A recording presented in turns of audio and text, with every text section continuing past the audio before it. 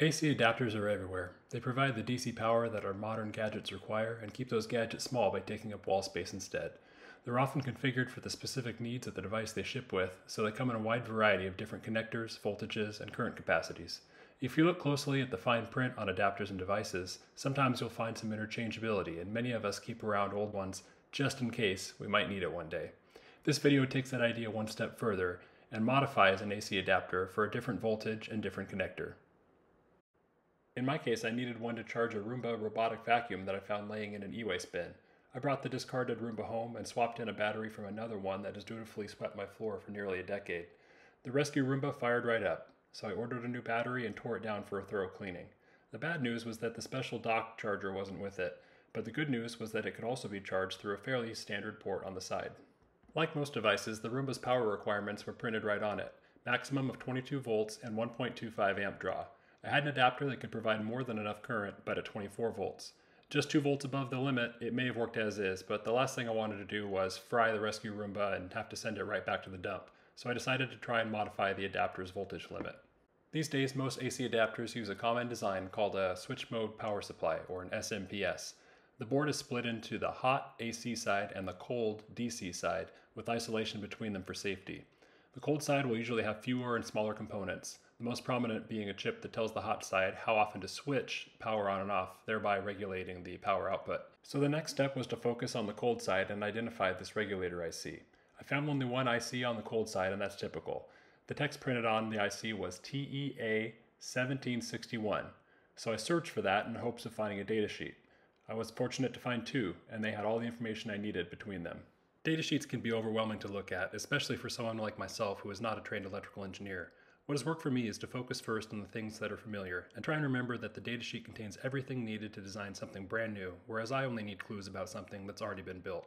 The first place I looked in the datasheet was the functional description. Most datasheets have something similar, and it's the place to find the simplest, most straightforward description of what the component is designed to do. In this case, it confirmed that the TEA 1761 contains the voltage reference and amplifiers to regulate and control the output voltage and current of the power supply, so I knew I was on the right track. Next, I looked at the pinout diagram to find out which pin is responsible for sensing voltage. I quickly found the VSense pin on the diagram, but in order to identify that pin on the IC, I first had to determine the IC orientation on the board. The vertical bar shown in the datasheet means the same thing as the dot in the corner of the actual IC. They both tell you the edge to start counting pins from. I double checked the orientation by reading ohms between the pin that I thought was ground and another known ground on the board. When I read near zero ohms, I knew that I had the orientation right. Now looking back at the datasheet, I could see vSense is pin 6, and I could confidently identify that pin on the board. The next helpful information I found was this example circuit for the TEA 1761 IC in a 90 watt adapter. These application notes or application schematics are really common, and assuming the designers didn't stray too far away, they can help to identify surrounding components on the board you're working on. This one visually showed that the vSense pin connects to Vout and ground through resistors. This arrangement is called a voltage divider, and vSense is in the middle of the voltage divider. So now we needed to look at my board to find those corresponding resistors between vSense and Vout and between vSense and ground. I used the ohm function of my multimeter to figure out which components connect to which other components, and I literally drew a map as I went along. I started with one probe on the vSense pin and read ohms to other nearby solder pads. When I saw anything under 1 ohm, I considered that a direct connection and added it to my map. I worked my way from vSense to ground and then from vSense to Vout. The path from vSense to ground went through a single resistor, noted here in blue, but interestingly the path from vSense to Vout went through a pair of resistors in parallel, noted here in the pink box. So that had me scratching my head for a bit, but the reason for it became clear as I started examining the values of the resistors. These can be determined from the codes printed on them. There are plenty of videos that explain how to read the codes, and it's a pretty straightforward system, but I use a website to convert the resistor codes to ohm values. For example, on a four-digit resistor code, the code 1002 means 10 kiloohms or 10k of resistance. Meanwhile, the code 1003 means 100k. That's the first resistor on this path between vSense and Vout, and now I have to get the value of the second resistor as well, which has the code 6203, and that turns out to be 620k. To find the combined resistance of those two resistors in parallel, I can look up the formula or use an online calculator like this one hosted by DigiKey. All I need to do is input the two parallel resistor values of 100 kilo ohms and 620 kilo ohms, and it will output their combined resistance. I'll select kilo ohms for that as well, and total resistance is basically 86 kilo ohms. So now I can map these values back to the voltage divider in the example application schematic. On the Vsense to ground side of the divider, I have 10K, and the example calls this resistor R33. That'll be important in a moment. Then on the Vsense to Vout side, I have 86K, and the example calls this resistor R32, but of course mine is actually made up of 100K and 620K resistors in parallel. Next I search the application notes for R32 and R33 and found this section just below on setting output voltage regulation. It plainly shows how the values of R32 and R33 affect output voltage.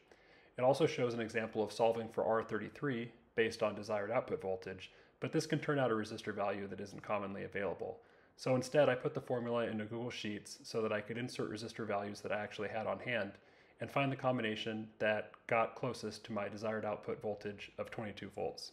You can pause the video to see the cell formulas I used, but in the end, I found a solution by playing around with just one of the R32 resistor values. If I swap out the existing 620K for 330K ohms, then the output voltage changed to about 21.7 volts, which is on the safe side of my target. So now it was time to desolder the older resistor and solder in the new one, which sounds easy, but these are a package size 0805, or only about 2 millimeters long. I won't make this into a soldering tutorial, but if you're new to surface mount soldering, then I recommend checking out a video from a fellow Colin from Adafruit Industries. He gives a fantastic SMD soldering lesson in about 8 minutes. With the new resistor combination in place, I connected my multimeter to the DC outputs and carefully powered up the power supply in my insulated vise. Sure enough, output was now 21.7 volts. It's pretty satisfying when all the data sheets, Google Sheets, math, and head scratching result in a change you can measure in the real world. I put the power supply back in its case, remeasured, and eagerly tested it out on my Roomba. Now here's where I could tell you it worked perfectly and ask you to like and subscribe, but like most projects I take on, this one taught me an unexpected lesson. The Roomba did charge, but not reliably. Sometimes it flashed error lights, sometimes it acted charge before it really was done.